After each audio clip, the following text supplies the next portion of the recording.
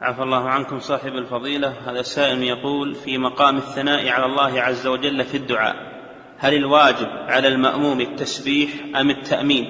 وما الدليل على ذلك؟ كيف؟ يقول عفى الله عنكم في مقام الثناء على الله عز وجل في الدعاء هل الواجب على المأموم التسبيح أم التأمين؟ وما دليل أم, ذلك؟ أم إيش؟ هل الواجب على المأموم. التسبيح أم التأمين؟ تأمين التأمين نعم قول آمين. نعم. وما دليل ذلك؟ إذا كان الإمام يدعو في الصلاة في القنوت في قنوت الوتر فإن المأموم يؤمن على دعاء الإمام. هذا في قنوت الوتر. أما في غير ذلك فالإمام يدعو والمأموم يدعو. كل يدعو لنفسه.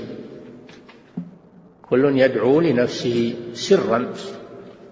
ولا ترتفع الأصوات في ذلك. إنما كل يدعو لنفسه في الركوع وفي السجود وفي التشهد الأخير.